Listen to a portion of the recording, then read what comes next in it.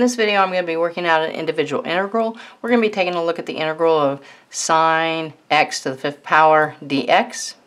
We will be using the common Pythagorean identity of sine squared x plus cosine squared x equals 1.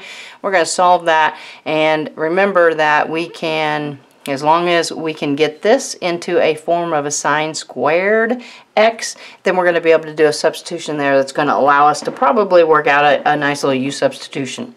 Okay, so what I'm going to do is I'm going to break this up into a multiple of sine squared x times um, of sine x. So what I'm going to want to do is I'm going to want to split this into a sine to the fourth x times a sine x dx.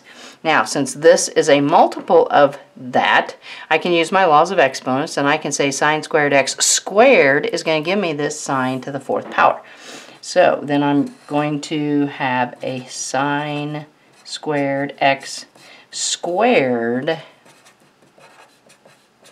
and then that's going to allow me to do this substitution of a 1 minus cosine squared x for this right in here. So we're going to do that substitution. We'll have a 1 minus cosine squared x quantity squared times the sine x dx. Okay, now at this point, hopefully you can see that this is going to uh, have the inside function of cosine x. This is a cosine x times cosine x right there, cosine x squared. So I'm going to let my u be cosine x.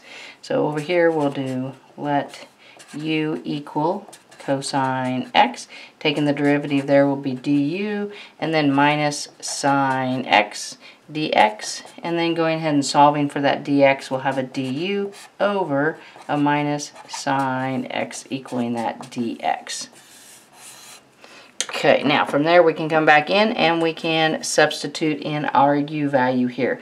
So we'll have the integral of 1 minus u squared, quantity squared, and then changing um, the dx to what it equals, we'll have that sine x that's still there, and then the du over a minus sine x. Alright, what that's going to allow me to do then is cross out those sine x's and take that negative and pull it out in front. So then I'm going to have a negative, the integral of 1 minus u squared quantity squared and du. Now at this point, this pretty much is just a straight polynomial. I've got a binomial here being squared, so the easiest way to work this out is just to go ahead and FOIL that out. So then we'll have a negative integral. Foiling that out, we'll have a 1 minus 2u squared. Squaring the last one there, we'll have a plus u to the fourth, and then du. Alright, from there, this is a straight integration here at this point. We'll have a negative out in front. Integrating a 1 with a du will give us a u. Integrating here, we'll add 1, which will give us a 3, so that'll be a minus 2 thirds u to the third. Adding 1 there will give us a 5, so a 1 fifth u to the fifth. And then now we can add that plus c. Alright, at this point, um, we're going to go through and change all the signs because we need to get rid of that negative right there. So we'll have a negative u. That'll become a plus 2 thirds u to the third. That'll be a minus 1 fifth u to the fifth. And then replacing the u with what we originally said it's going to be.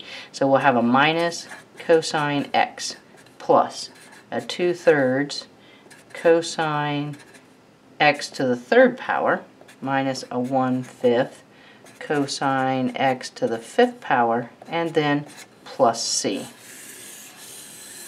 So again, pretty straightforward after you make that initial substitution there, understanding how to break that up so that you can get it to a sine squared x so that you can do this substitution.